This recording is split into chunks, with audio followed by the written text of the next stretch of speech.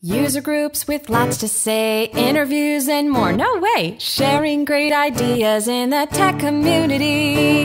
Fascinating conversations, a plethora of information. Find out for yourself today at utastic.com.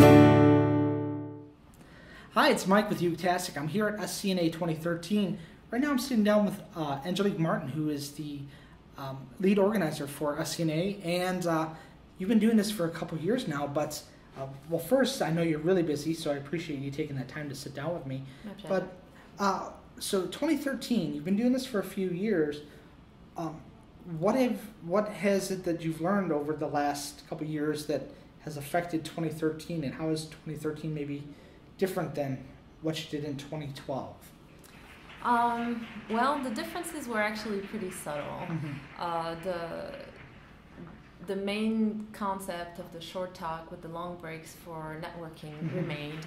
What we did this year is that we uh, try to change the the schedule a little bit so that the second day would start a little bit later, Right. so we could have a code and coffee session, so Mhm. as to allow for more technical time.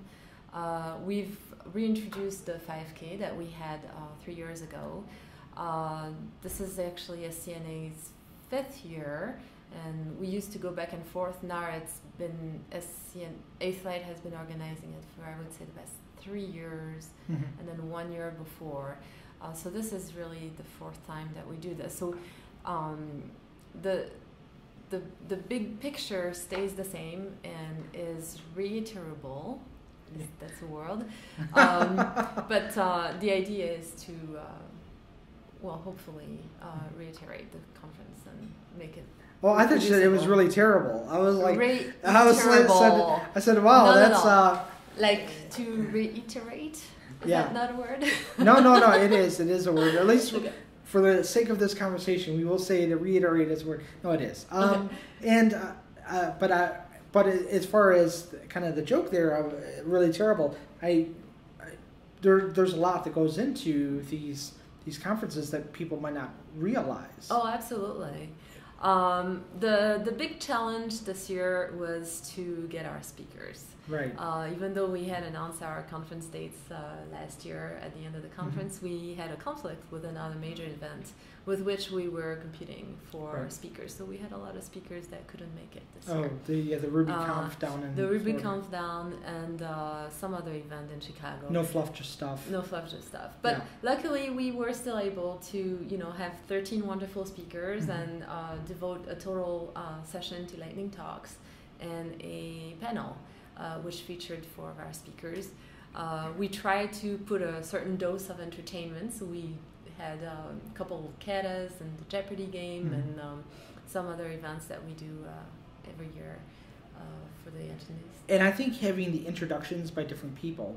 Absolutely. So so between sessions when uh, a new speaker was coming up, it wouldn't always be the same person introducing the speaker and there was one little snag as there always is in anything Mhm. anything um, where one of the speakers had gotten locked outside right. and but because of having you know a person up there that was comfortable they could talk and kind of Yeah, you know absolutely. control the room a little bit and Right. We had a bunch of uh, software jokes, and Right. every, it was winged pretty well. Yes. And Gary made it to just what three, four minutes late. Yeah. it was okay. We were a little bit early it- on our side as well.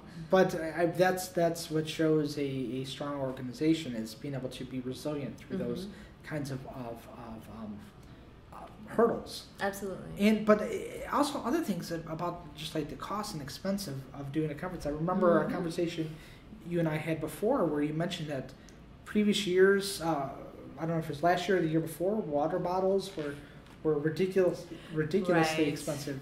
Yeah, it, the aside f- the, the the main cost for the Mm-hmm. conference is really food, beverages, and uh, the venue. Uh, we've detached ourselves from the hotel because Mhm. a few years ago we had uh, an experience, uh, but. Uh, Right, there's consumption costs that Right. are not necessarily um, Yeah. So when you take a, when you take a bottle of water, keep it because it might be really expensive. and it, it might affect whether or not there's going to be a conference again next year. Right, and we're always looking for sponsors. Mhm. I mean, I want to really say clearly that events like this could not be produced if it wasn't for the help of Mhm. the sponsors, so that we can. Uh, I don't know if you've noticed, but SCNA's price is the same that we've had for Mhm. uh, for as long as I remember putting the conference together. Um, and it's getting to be a stretch. It's getting Right. to be difficult to maintain that uh, low price. With and then competing for sponsors because they're Absolutely. also looking at okay if I am, Mhm. if they're a Ruby company or they provide Ruby services, they're gonna already be pre-allocating for a direct Ruby conference, and now you're competing for Mhm. those dollars just right. because you cover a broad spectrum. Um, anything that uh, if somebody was looking at um, how they could maybe look at starting their own conference in an area, what are do you have any other little tidbits you might think of that if somebody's looking at a conference that they might want to just think about before they get into it? What what are you know you mentioned costs and sponsors, but Right. I think the the biggest part is the venue. Uh, I uh, found the past couple of years we've had this venue, which is by the way fantastic, uh, but it's not a hotel venue, so we we are able to limit the Mhm. cost and limit the liability because when you do book a conference in a hotel, uh, depending on where you do it, at least that's the experience in Mhm. Chicago, they have some sort of ratio of uh, hotel rooms to meeting space. Uh, Right. But with the technology nowadays, it's not uncommon for people to find really cheap rate elsewhere, leaving you with a liability for hotel rooms that are actually not occupied. right because they don't seem to be giving you a, an optimal rate to offer. Absolutely not. No, Yeah. they're they're they're charging top sticker dollars. price. Absolutely. right, Yeah. and uh, yeah, yeah, I definitely can say that. I am personally myself when I go to a conference, I'm looking at Hipmunk. Mhm. you know, and it's you know, it's I would love to support the conference, but sometimes it's just the rates are so high that it's right. It almost makes prohibitive to even more- like go as an attendee. Right, exactly. So that's why by not by not having uh, a hotel venue, Mhm. uh, we're able to leave the choice to the people as to what tools they want to do, Right. what they want to use to find Yeah. the accommodation rates that fit So- their budget. Much like we try to write our good software, we decouple things. Yeah, I see. Can. I, I know you're not a software person, but it's, I can understand. everybody the they'll, they'll get it. They'll get it. So, but uh, anyway, I know you're very busy, and I'm catching you right in Oh, the middle. yeah. I appreciate you taking the time to sit down. Thank you. Thank you very much. Yeah, thank you. User groups with lots to say, interviews and more. No way! Sharing great ideas in the tech community. Fascinating conversations, a plethora of information. Find out for yourself today at utastic.com.